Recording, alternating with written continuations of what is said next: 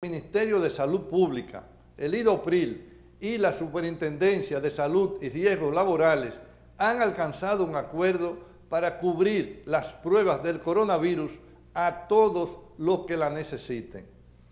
Por vía de las ARS, el Sistema de Seguridad Social cubrirá las llamadas pruebas PCR a los afiliados al Seguro Familiar de Salud de los planes especiales transitorios para pensionados y jubilados y del seguro de riesgos laborales.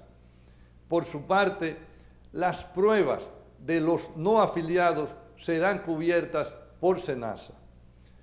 Las pruebas serán administradas a personas que presenten dos o más síntomas del COVID-19 o que hayan tenido contactos con pacientes confirmados o que hayan estado expuestos en el exterior del país.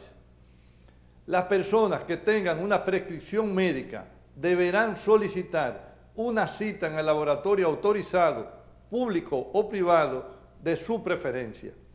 Ellos se encargarán de indicarle la fecha, lugar y procedimiento para la toma de muestra.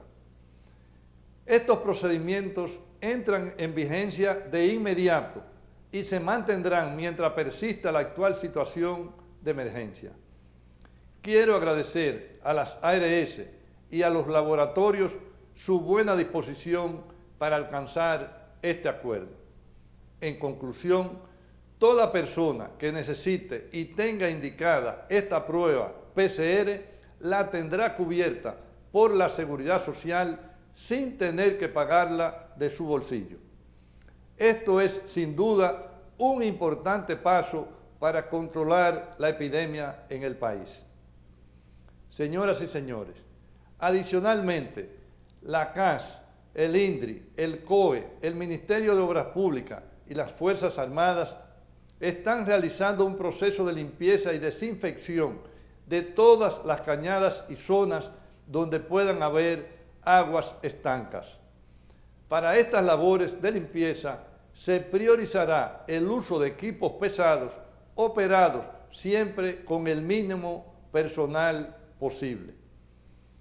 Como sabemos, se avecina el tiempo de lluvias y debemos evitar que la situación de salud provocada por el coronavirus se vea agravada por la aparición de otras enfermedades como las que transmiten los mosquitos. Estos operativos contribuirán a mantener la salubridad general en el país. Señoras y señores, no quiero cerrar estas palabras sin antes agradecer la generosidad que está demostrando en estos momentos nuestro sector privado. Tanto empresas particulares como organizaciones empresariales de Santo Domingo y Santiago están entregando al Estado donaciones en efectivo y en especie para hacer frente a esta crisis.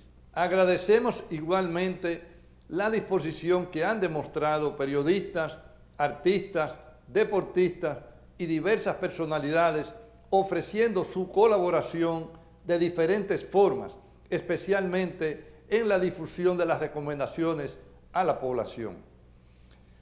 Toda iniciativa privada para ayudar a nuestro pueblo no solo es bienvenida, sino que es hoy más importante que nunca. Sin embargo, es importante establecer una distinción.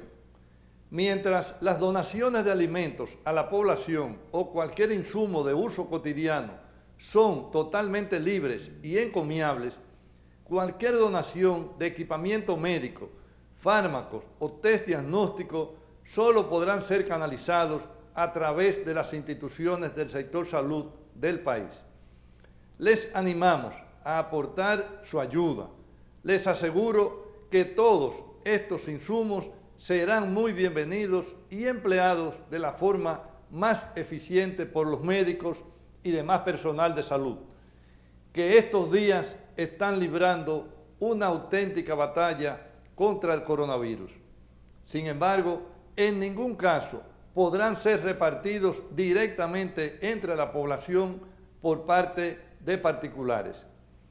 Donaciones directas a la población de medicamentos o de herramientas de diagnósticos epidemiológicos solo pueden generar confusión e incertidumbre en un momento donde todos necesitamos claridad y protocolos bien definidos.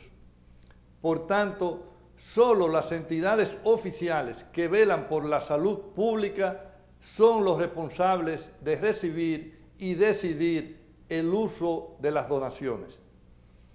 Señoras y señores, continuemos todos respetando las medidas de prevención sugeridas por las autoridades sanitarias, especialmente la de permanecer en casa. Vamos todos a colaborar con el trabajo de los que tienen que salir diariamente a cuidar de nuestra salud y de nuestra seguridad. Muchas gracias. Buenas tardes.